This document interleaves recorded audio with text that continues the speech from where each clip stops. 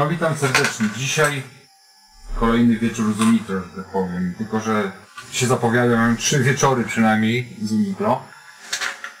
E, Co to takiego? To jest Faust 205S e, do sprawdzenia, do przestrojenia. E, Deck MSH 101 e, do sprawdzenia. I troszeczkę widzę tutaj obudowa jest zerdźwiała.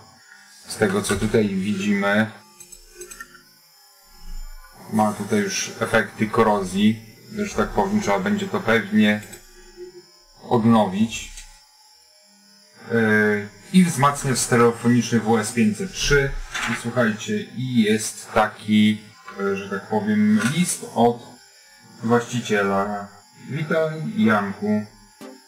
Yy, W paczce przesyłam następujące przedmioty. Wzmacniacz, na którym w którym na 100% do wymiany potencjometr głośności oraz końcówka mocy, tylko teraz nie pamiętam, który kanał.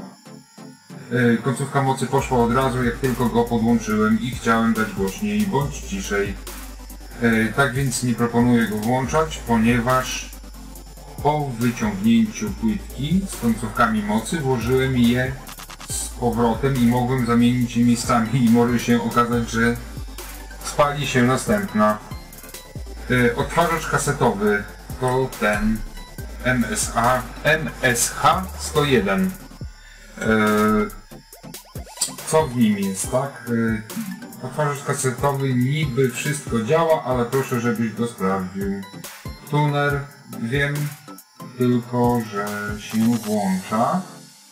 Nic więcej, tak więc też proszę o sprawdzenie i przestrojenie oraz jeśli będziesz miał jakąś antenę pokojową, to chętnie odkupię.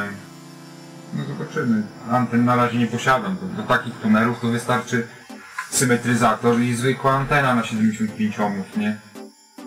Ewentualnie kawałek drutu dipola. Yy... Płytka od lampy LED. Lampa przestała świecić i najprawdopodobniej coś poszło na płytce, jeśli może zerknij i napraw y, kilka gratów, które się walały. Dzięki za graty, słuchajcie. Czekolada na pewno się przyda, bo zaraz będę robił kawę i dzisiaj dzisiaj zajmiemy się WS503, czyli wzmacniacz. Ten wzmacniacz, który tutaj widzimy na samym dole. Przy okazji do kawy czekolada. Dzięki wielkie, pozdrawiam. Śrubki do obudowy posiadam, tylko zostawiłem je w garażu.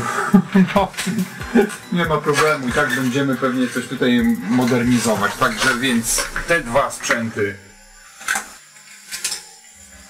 na półeczkę, na półeczkę. A dzisiaj zajmujemy się WS-em. No dobra, ale na początek właśnie. Zapomniałbym. Kurczę, jakaś czołówka.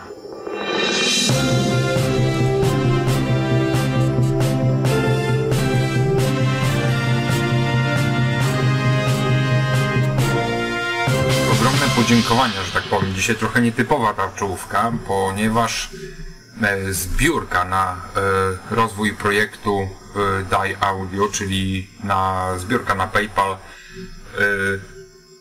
osiągnęła już 17%. Jest tu czterech, w, że tak powiem, sponsorów do maszyny CNC.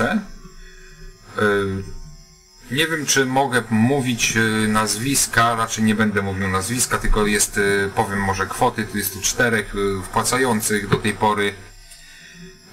Wojciech N. Już nie będę się powtarzał, będę mówił tak jak N. To będzie 40 zł wpłacająca Electronics. Cztery- 40 zł wpłacił na CNC od Studi Studiego. Stówka. Dzięki studii. Zawsze to się przyda. Yy, I Krzysztof W. Wpłacił 20 zł i mamy uzbieraną kwotę do tej pory 200 zł.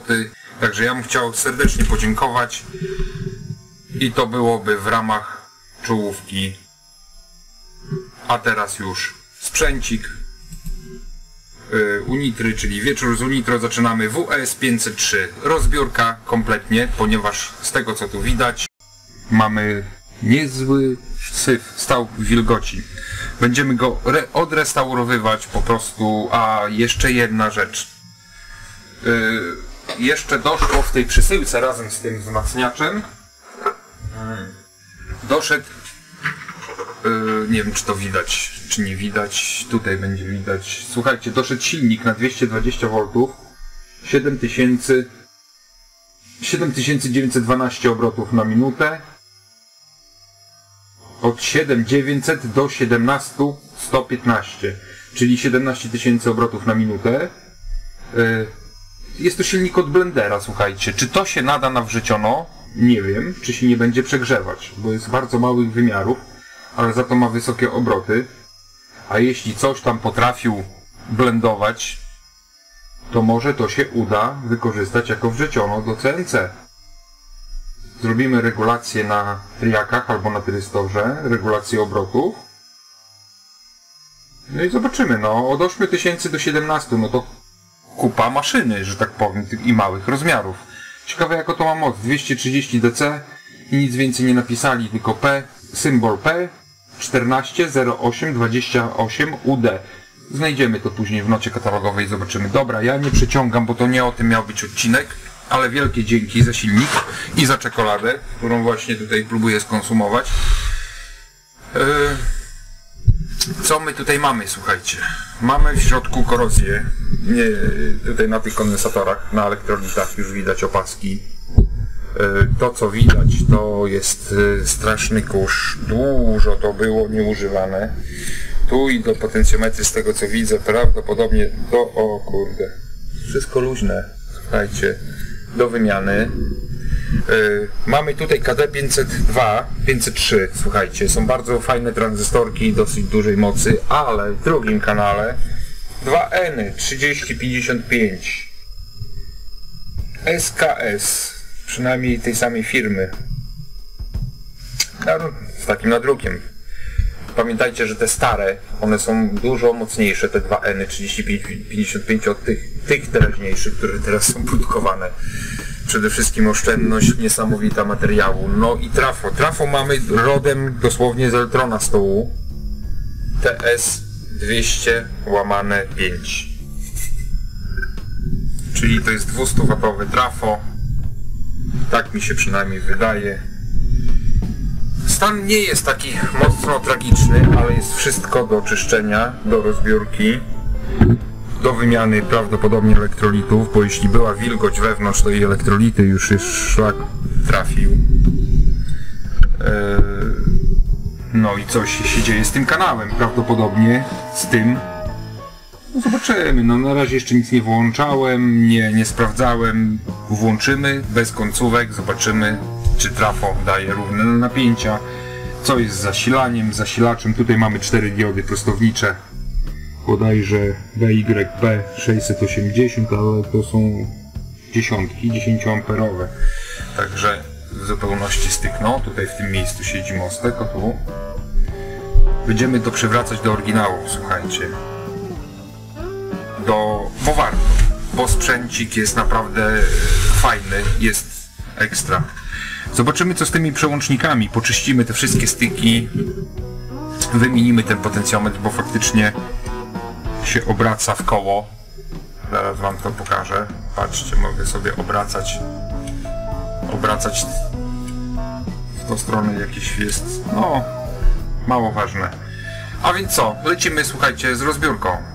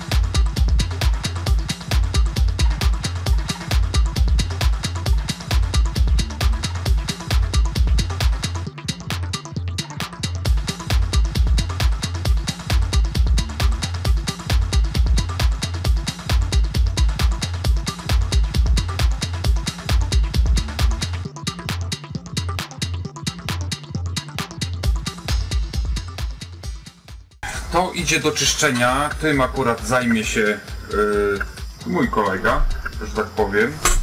Y, to idzie do piaskowania i do lakierowania.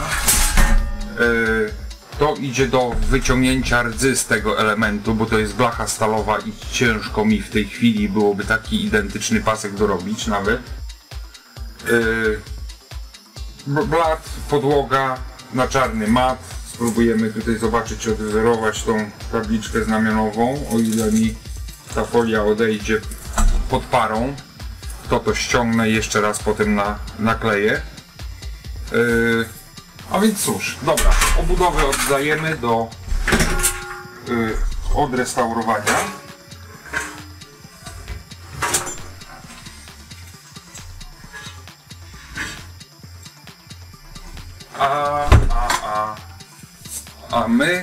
Dzisiaj, słuchajcie, tak, odkręciłem te, te, to obejmę, od, ściągnęliśmy panel, musimy wyciągnąć, yy, że tak powiem, tranzystory, znaczy sprawdzić tranzystory mocy, sprawdzić rezystory emiterowe, odczyścić to wszystko. Yy, przede wszystkim rozebrać jeszcze będziemy musieli wszystkie te płytki. O panie, tutaj widzę już na dzień dobry przy wejściach wyżarte aż aż wyżarte ścieżki. Tu na przykład nie wiem czy to ładnie, czy nie ładnie. Może o, teraz będzie lepiej widać. Słuchajcie, tutaj praktycznie o tutaj tej ścieżki, tej ścieżki praktycznie nie ma. Czyli jednym słowem tak, wyciągamy te płytki z tymi wszystkimi przyłącznikami, bo na 100% są do czyszczenia. Wszystko jest do mycia, do polerowania. Wyciągamy ten potencjometr, bo już mamy dojście od przodu. No i cóż. Jednym słowem, dalszy ciąg rozbiórki i sprawdzania, co jest uszkodzone. A potem będziemy odrestaurowywać te moduły, tak żeby to było na tip-top zrobione.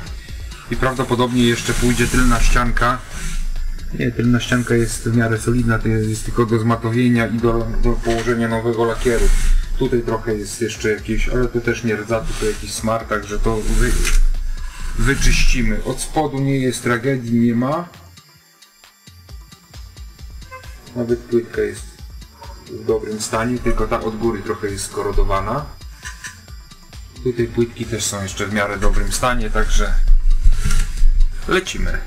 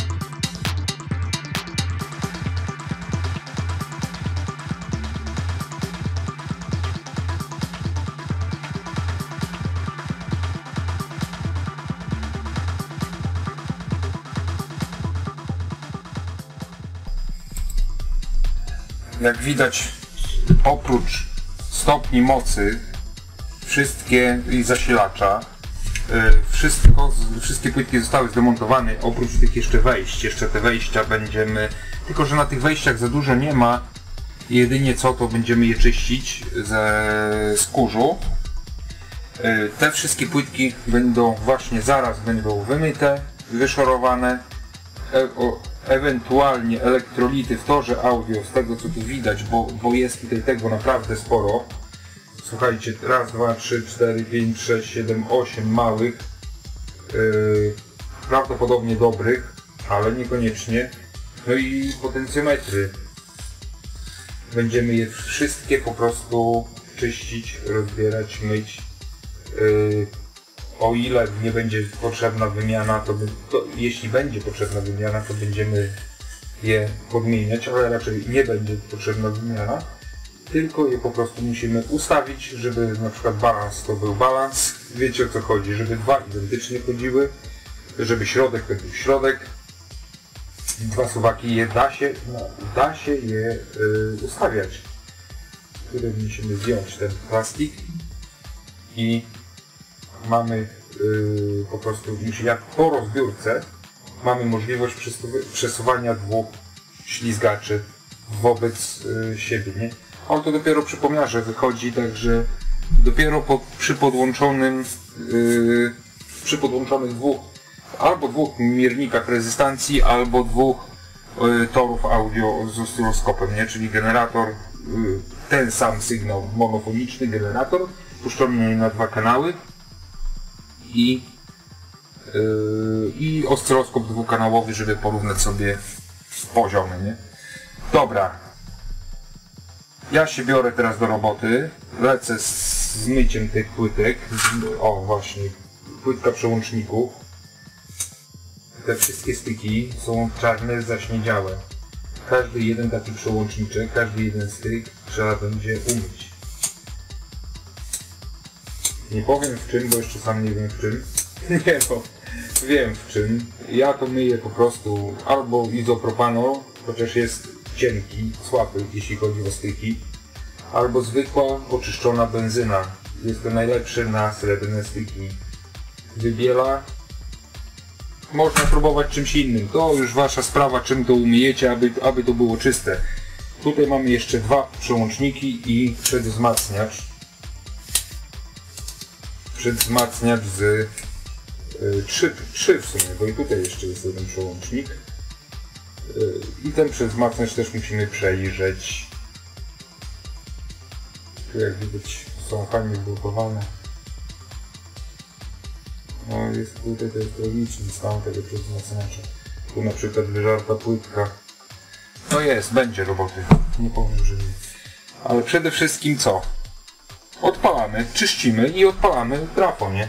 Także ja wracam po krótkiej przerwie. Dzisiaj się zapowiada spory odcinek, także zapraszam do obejrzenia. Czas, żeby sprawdzić tranzystory mocy. Jeśli będzie potrzeba, zaraz będziemy dobierać, bo KD503 mam ich akurat może z 60 sztuk, także może coś, coś dobierzemy. Że tak powiem, ja wiem, że co niektórzy tutaj piszą, że coś z niczego powstanie. No dobra, no powstanie praktycznie od podstaw na nowo. A więc tak, trzeba sprawdzić yy, tranzystorki. Słuchajcie, będziemy sprawdzać tranzystorki. Czemu to piszczy? Aha, bo to jest dioda ten, dobra. I teraz tak, weźmy sobie bazę.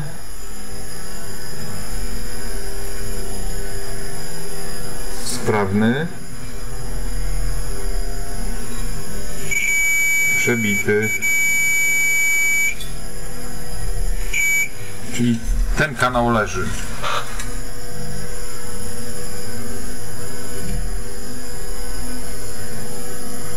Jest ok.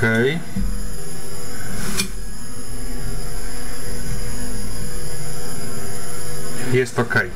Czyli musimy dobrać KD503, bo tu były dwa N no i bo być może, że to była tego też przyczyna, no troszeczkę niższe napięcie mają te 2N, trochę mniejszą moc, bodajże 115 W mają te tranzystory 2N, a KD503 130. Nieduża różnica, ale yy, napięciowo, napięciowo to jest troszeczkę różnicy. KD503 praktycznie dwukrotna moc. Teraz wykręcimy, słuchajcie, po kolei, co tu się tylko da. Za chwilę to już będą wszystkie śrubki, które były możliwe wykręcone. Od- Odkręćmy radiatory. Fajnie pokombinowany ten wzmacniacz, że tak powiem, bo wszystko praktycznie modułowa konstrukcja.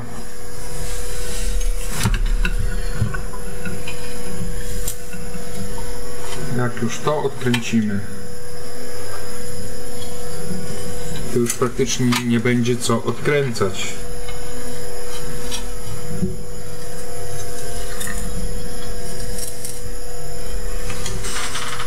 Okej. Dobra.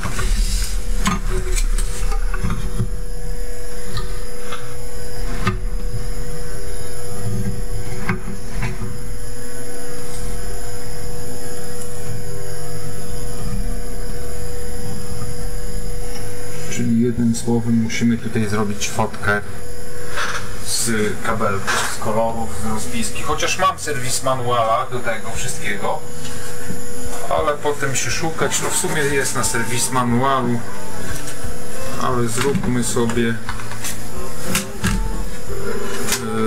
yy, sobie fotkę, nie? Z tych z tych przewodów, nie? Które tutaj mamy.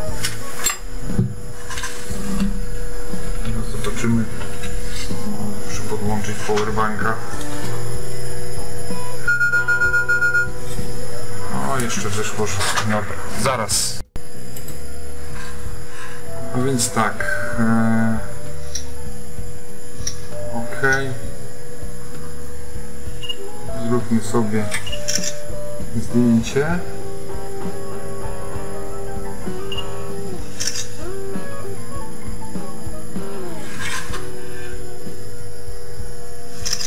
Dobra. Tu już wszystko jest.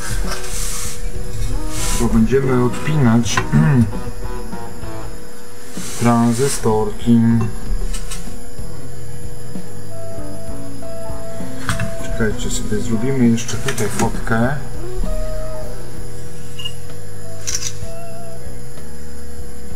Z drugiego kanału.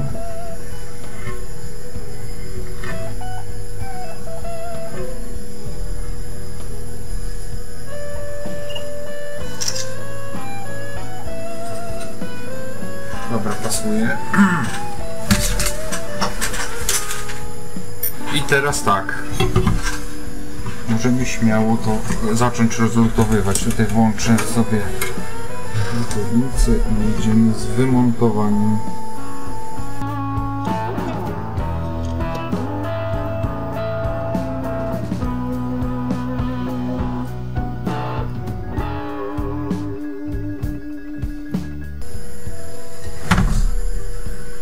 Pamiętacie jak kiedyś pokazywałem te łączenia na zwijany ten drucik? Zobaczcie. Tu też tak samo była robiona sprężynka i było zakładane na... Już była pomyłka z tego co tu widzę, ale... Także jednak i tak te fotki się nie przydadzą, bo... No bo są pomyłki. Ktoś podłączył emiter do kolektora.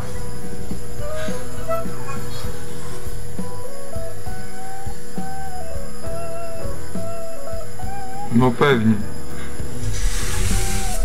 Dlatego kanał nie działał. Dobra, wyciągnijmy jeszcze raz, zmierzmy tylko czy faktycznie ma przybicie.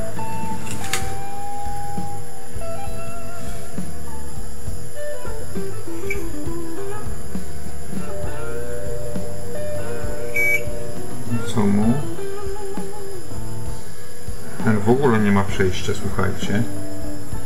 100 ohmów ma do masy. A ten jest przybity. A wszędzie jest poprzepijany. Emitter, baza, kolektor. Dobra, ja wymieniam, wymieniam. Szukamy tranzystorów. Słuchajcie, tu mam troszeczkę tych tranzystorów, tu akurat mam nawet tych ruskich. Yy, tu mam takie komplety, niby poparowane one były, bo to pracowało już. KD503 z tych oryginałów, z tych starych. Ale tutaj miałem parkę. O, tutaj są KD503. Tylko nie wiem, dołożyłem, wrzuciłem trzeci tranzystor niesparowany, a była jedna parka zrobiona. Oj, mniej więcej były dobrane, tylko teraz zobaczymy, moment, yy, 321, 321, a ten? 320 Iwo. Iwo. V09 X10 Podaję, że o to była para, zaraz sprawdzimy to na, na tym namierniku. I spróbujemy KD503 podstawić. Jeśli nie, to jeszcze mam 8 sztuk z wylutu. Dobra, KD503.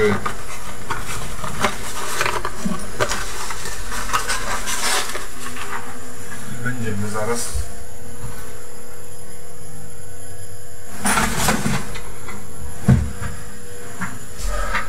i zaraz będziemy parować, no. Zmierzmy sobie najpierw te, co one tutaj pokazują na tym. Czy one są sprawne? A nie, to te dwa były, to był oryginał. 543 baza kolektor 544 baza emitter 506 to na pewno nie ten 530 a ten 540 rozrzut trochę jest, no dobra, zobaczymy bazę emitter 531 544 514 507 to na pewno nie był ten.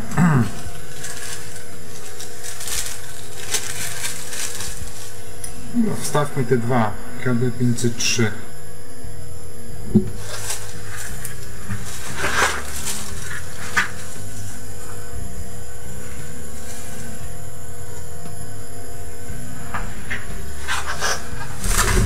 No cóż, lecimy.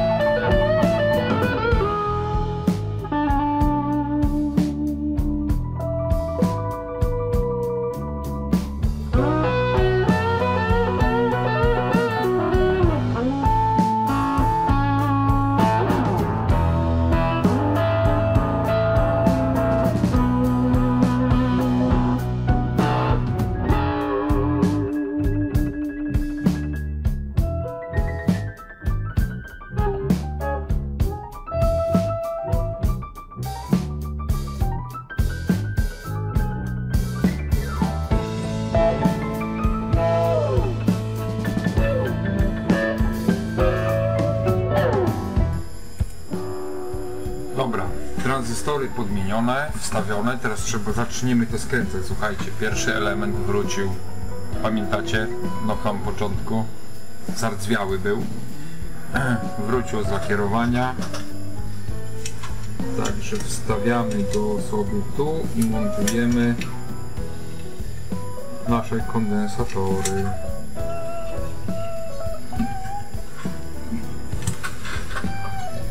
Tylko zanim to zrobię, to tu musimy podłożyć taśmę. No i co? Lecimy po prostu ze skręcaniem, nie? Niestety jest tego. Rozebrać szybko się rozebrało, a jeszcze... A jeszcze naprawa przed nami.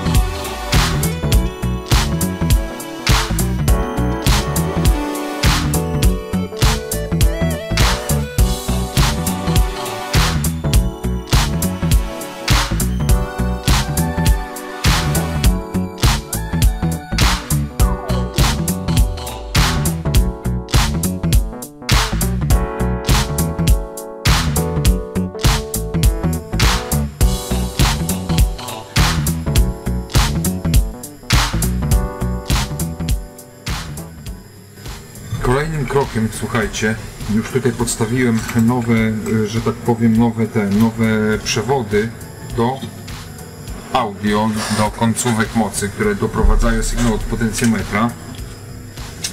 I będziemy teraz, słuchajcie, wymieniać ten potencjometr. Y, Z tego, co tutaj widzę, to jest tak. Y, To miał być biały, tak, jest. Biały przód. Czyli wstawiamy nówkę potencjometr, słuchajcie. Też z taką długą ośką, z odczepami. Yy.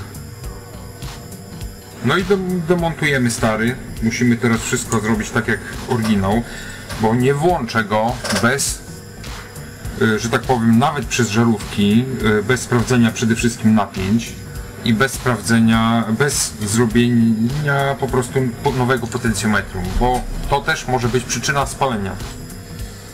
Ale już ja tutaj się, dopatrzyłem, tutaj ktoś po prostu zamienił przy pierwszym tranzystorze kolektor z emiterem.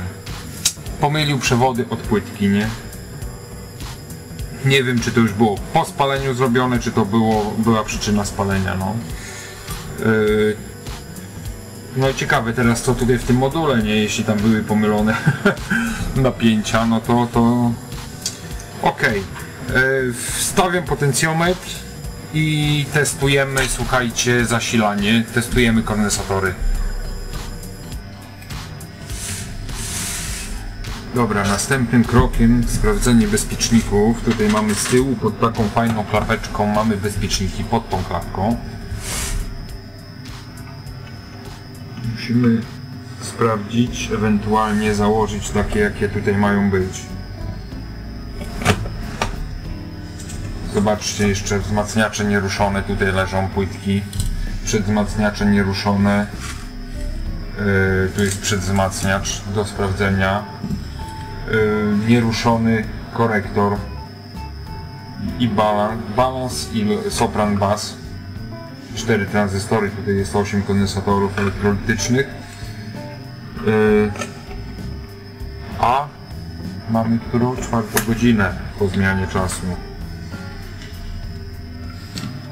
4 godziny pracy. Sprawdźmy je na początek, czy one są sprawne, czy nie.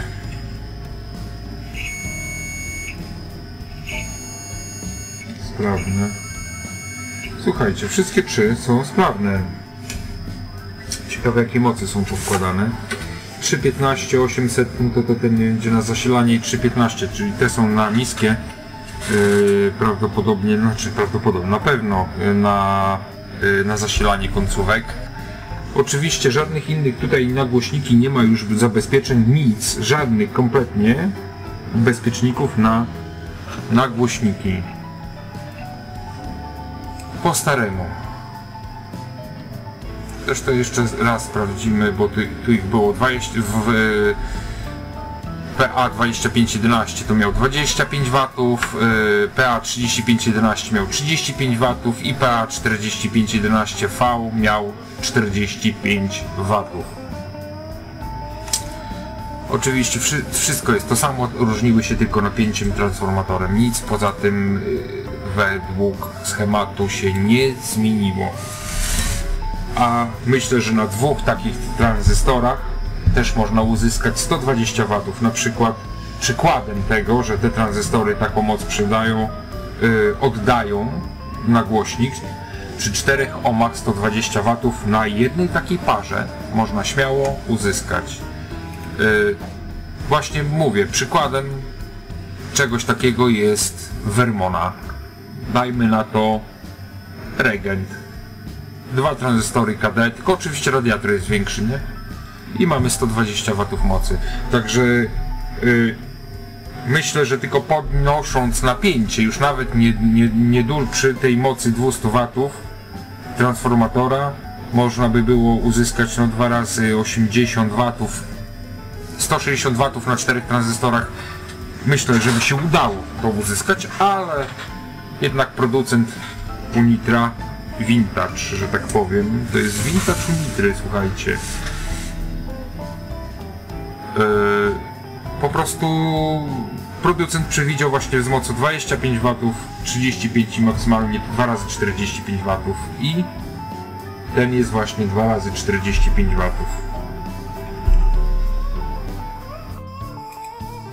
Dobra, słuchajcie, pierwszy pomiar przed nami, sprawdzamy napięcie, tranzystory są podstawione mocy bez wzmacniaczy, bez modułów, tylko napięcie idzie na tranzystory bez wysterowania bramek Włączmy go sobie.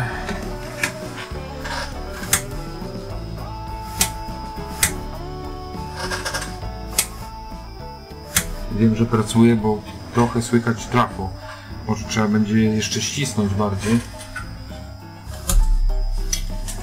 To już wyklucza z high-endu, że tak powiem, ten wzmacniacz, bo już mamy brum, delikatny brum na, na trafie. Dobra, masa kondensatorów i sprawdzamy.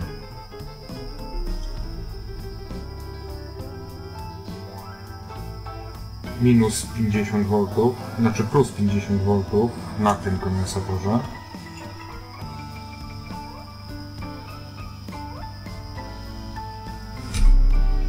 Kurde, żeby zwarcia nie zrobić, bo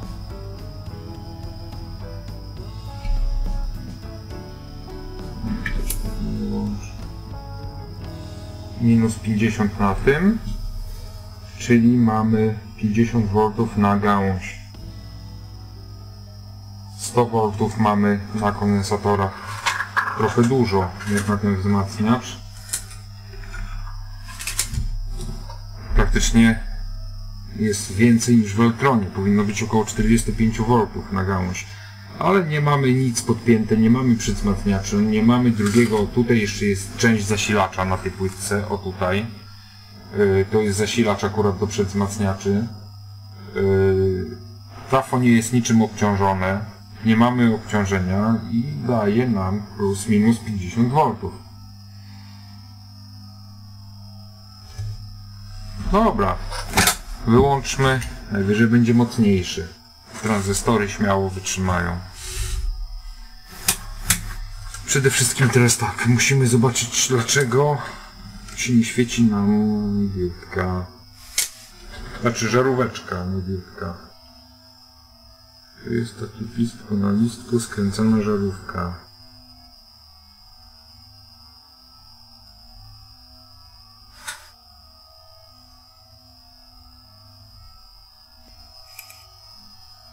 Dobra, słuchajcie, czas sprawdzić co się dzieje z tymi modułami. Któryś z nich był tam sprawny, ale i tak i tak wymienimy te elektrolity, żeby to miało jakieś tam ręce, nogi.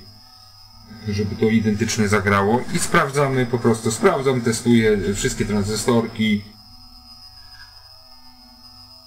i jedziemy z naprawą.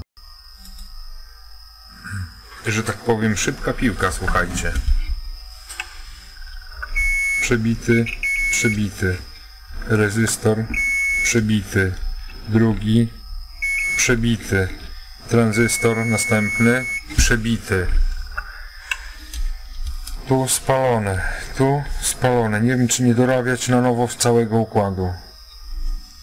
Tak to jest przy tym napięciu, słuchajcie. Dwa razy plus minus 50 V. 3,15 ampera, czyli mamy przy 3 amperach, przy 100 V mamy 300 watów mocy między emiterem a kolektorem drugiego tranzystora. Możemy wydzielić moc 300 watów. To już się nie robią, że tak powiem, żarty. Te tranzystory nie wytrzymają tyle choćby nawet i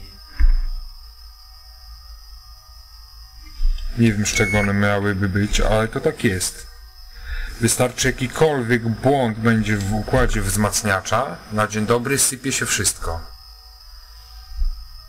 Te akurat wzmacniacze, te, które tutaj właśnie y, dzisiaj właśnie jest na stole, one tak mają, słuchajcie. Y, to była polska konstrukcja bez zabezpieczeń, bez żadnych protektów, bez żadnych wyłączników, bez żadnych tranzystorów zabezpieczających, ewentualnie zabezpieczenie przedzwarciowe w końcówce mocy, tak jak tu widać na schemacie. I tutaj właśnie będzie schemat, jest już schemat i słuchajcie, y, jest na tej zasadzie, że yy, następna część, bo to jest część pierwsza z tego vintage'a, pewnie jutro albo pojutrze. Tak jak widzimy tutaj na schemacie, słuchajcie, będzie zabawy. Yy, ja jeszcze zadzwonię tutaj i się skontaktuję co i jak z tym wzmacniaczem, co tu dalej.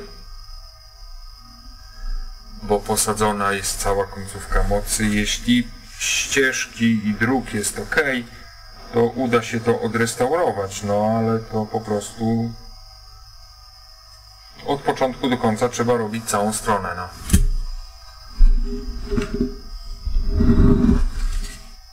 Cały jeden moduł. Dobrze, że drugi jest na wzór, a schemat jak widać jest. Zabezpieczenie przeciwzwarciowe to są... no w sumie też nie ma. Nie, ma, ma, ma, ma. To są te dwa tranzystory i dwa rezystory się ustawia R185 i R181 to jest przeciwzwarciówka. Yy, czyli bodajże, żeby nie skłamać, 185 na tym będzie lepiej widać, bo tutaj troszeczkę okopcone.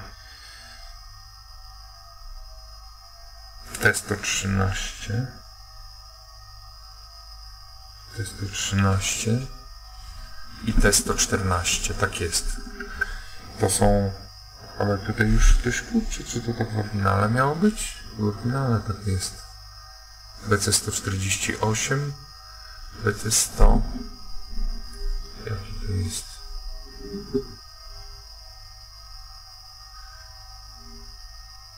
Hmm. Dioda i tranzystor. Hmm. Dioda i tranzystor. BC148, a tutaj? w linii ubogowej B308.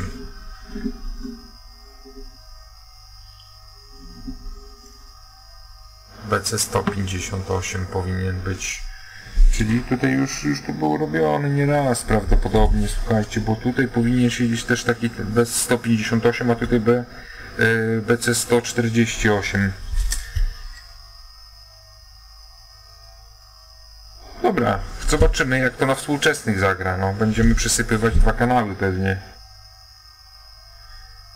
Bo troszeczkę może być kłopot. Znaczy w sumie ja mam jeszcze tych chyba BC148. Dobra, ja nie przyciągam, bo i tak jest bardzo, bardzo długi odcinek. Słuchajcie, a do wieczora yy, już jest godzina 17. Ja chcę, żeby to jeszcze dzisiaj wyszło na YouTube. I po, w sumie to jeszcze raz bardzo dziękuję dla wszystkich, którzy tam wspieracie ten projekt CNC, który będzie, który jest na dole. Tutaj słuchajcie, tam jest na dole pod filmem gdzieś jest opis. Yy, no i, i ja pozdrawiam gorąco polecam. Na pewno będzie sprzęt audio rozlosowany, lampowy sprzęt audio rozo, rozlosowany między tymi wszystkimi wpłacającymi. Dane oczywiście mam, bo jednak jak ktoś wpłaca, to są, to są te dane y, podawane przy wpłacie y, Y, na zbiórkę CNC. Link pod opisem, pozdrawiam i do następnego odcinka, słuchajcie, może będzie efekt jakiś już.